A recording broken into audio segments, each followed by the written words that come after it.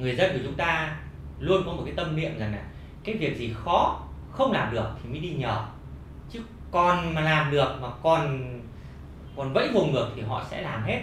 Thế nên chúng tôi phải luôn xác định tâm thế là việc khó mới đến chúng tôi. Và chúng tôi vui vẻ chấp nhận những cái khó khăn đấy.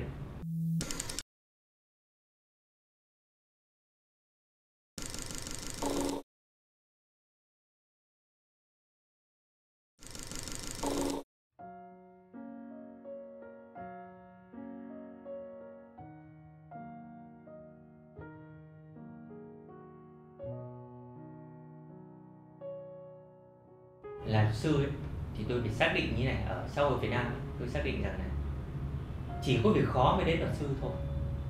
Và tôi thấy rằng là mọi cái điều mà khách hàng đến với tôi đều là khó khăn cả. Khó khăn về mặt pháp lý khó khăn về mặt tâm lý. Người dân của chúng ta luôn có một cái tâm niệm rằng là cái việc gì khó không làm được thì mới đi nhờ.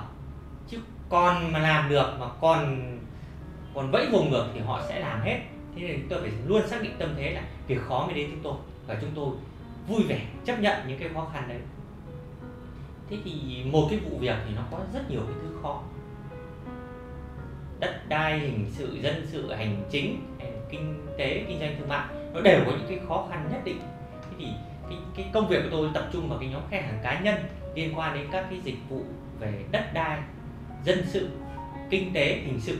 Thế thì cái khó khăn nhất trong một vụ việc ấy, đó là tôi phải tháo bỏ cái tâm lý của khách hàng trong cái việc là trao đổi thoải mái với luật sư về mặt tâm lý. Có rất nhiều điều ấy thì khách hàng không bao giờ trao đổi một cách thoải mái không bao giờ cung cấp một cách đầy đủ các cái chi tiết của vụ việc. Có rất nhiều chi tiết họ giấu đi họ giấu đi để làm gì? Để cho vụ việc nó dễ nó dễ để làm gì? Nó dễ để luật sư không làm khó cho họ và không, thậm chí là không yêu cầu nhiều chi phí. Thế nhưng mà cái việc tôi làm với khách hàng là tôi sẽ trao đổi với khách hàng, với thân chủ của mình. Làm sao cho việc nó rõ ra, nó dễ lên và tâm lý họ phải rất cởi mở. Cung cấp thông tin càng đầy đủ thì cái giải pháp của tôi nó càng sáng tỏ, càng dễ dàng. Chứ còn một vụ việc khó khăn thì nó rất là nhiều.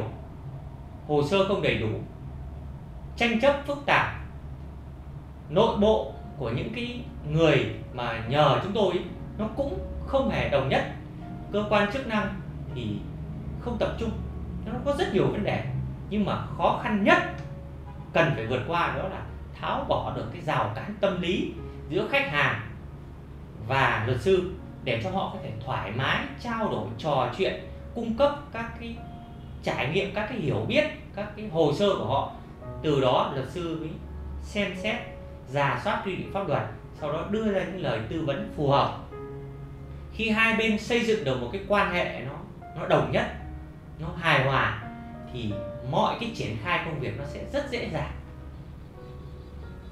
Khách hàng ấy thì rất lo, rất sợ trước công việc, và khi mà đã lo sợ như thế thì họ quay lại, thậm chí là họ giám sát, họ đòi hỏi, họ thúc bách luật sư. Thì đầu tiên thì chúng tôi cũng thấy là nó rất là khó chịu về việc đấy nhưng mà sau khi chúng tôi đi vào vụ việc, hiểu được vấn đề, trò chuyện được với khách hàng thường xuyên, thì khách hàng họ cũng tháo bỏ được cái tâm lý. Và lúc đấy hai bên trở lên một quan hệ rất là tốt. Và khi đã có quan hệ tốt rồi tư tưởng nó thoải mái rồi thì mọi cái vấn đề pháp lý nó sẽ được hiểu biết rất dễ dàng. Có những khách hàng gặp tôi, họ chút lên người luật sư tất cả cái sự đau khổ, tất cả cái sự phẫn uất. Thì việc chúng tôi là lắng nghe, trò chuyện chia sẻ và thậm chí là sau một cái buổi trò chuyện thì có những người ấy, có những cái căng thẳng 10 năm ngay lập tức họ sẽ được tháo bỏ và sự việc nó đã được giải quyết thậm chí là chưa cần giải pháp pháp lý chỉ bằng những giải pháp tâm lý là sự việc đã được tháo gỡ một phần rồi.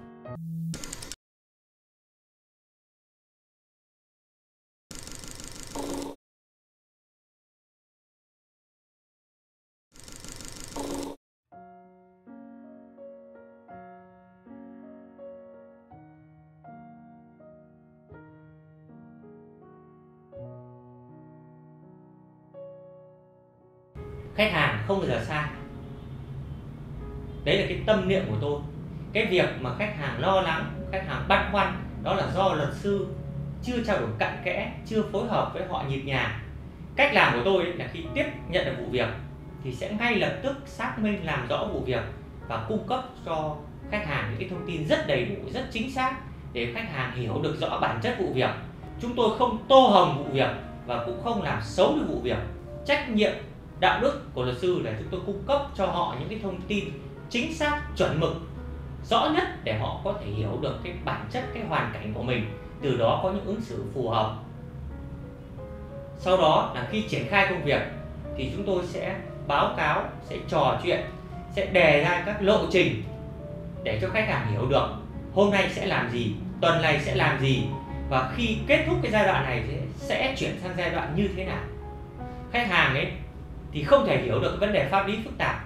Họ đôi khi là chỉ là cái cảm xúc. Luật sư có nhiệt tình không? Luật sư có hết lòng về công việc không? Họ không thể biết là, là luật sư sẽ làm cụ thể điều gì mà chỉ biết qua cái tâm lý thôi. Những người làm luật ấy, phải hiểu khách hàng và cung cấp cho họ những cái dịch vụ đúng chuẩn pháp lý và không được nuông chiều khách hàng không được cho khách hàng những cái quyền lực quá mức. Vì cuối cùng là chúng ta phục vụ lợi ích của khách hàng, đem lại lợi ích cho khách hàng mà thôi.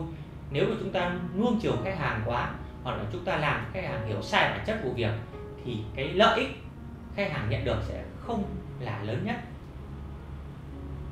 Giải pháp pháp lý, chuẩn mực trong hành động, chuẩn mực trong đạo đức, đấy là cái việc luật sư sẽ cần phải giải quyết để cho khách hàng tháo bỏ được cái tâm lý, các cái rào cản khó khăn dựa trên đó chúng ta xây dựng một quan hệ khách hàng, quan hệ thân chủ với luật sư thật là chuẩn mực, thật là đúng đắn.